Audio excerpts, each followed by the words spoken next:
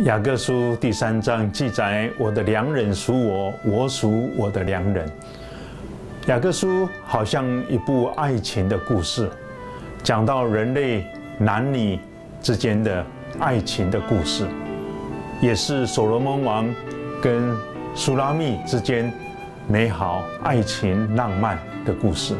当然，爱情是人类永远讲不完一个浪漫感人的故事。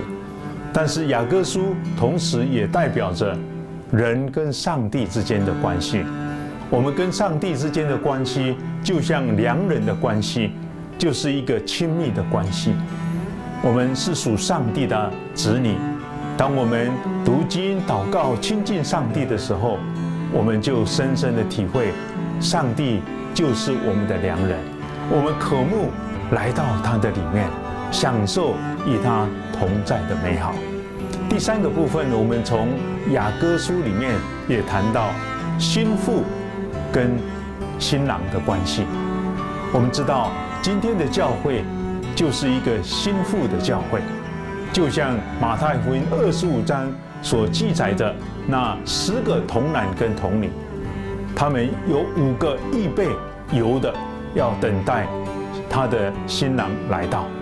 今天的教会也不断的在预备装备弟兄姊妹，成为基督的门徒。我们要在这个时代来征战，因为我们的新郎，我们的主耶稣要来到我们的当中。不但如此，他要第二次来到我们的当中。今天的教会就是一个心腹的教会，也就是良人要属于我们的耶稣基督。所以，我的良人属我，我属良人，就是一个心腹跟新郎亲密的关系。